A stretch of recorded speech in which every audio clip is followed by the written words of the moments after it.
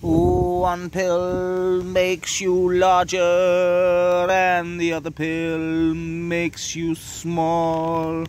And the pills that mama gives you don't do anything at all. Go ask Alice when she's ten feet tall. Yeti, folks. Tis the season. Tis the season.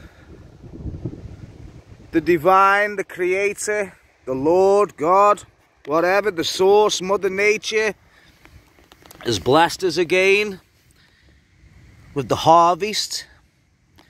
You know what blags my head? What, what flipping puzzles me? I know countless people, and there's countless people in this world, who wouldn't dream of having one of these.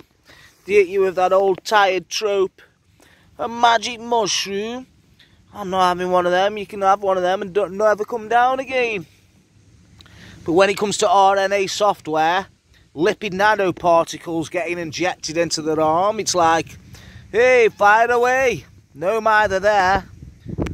So, uh, Al Natural gets rejected and um, the synthetics get embraced. That's the kind of upside down world we're living in. Anyway, I'm not going to put these on film, not that daft. But uh, yeah, it is officially harvest time.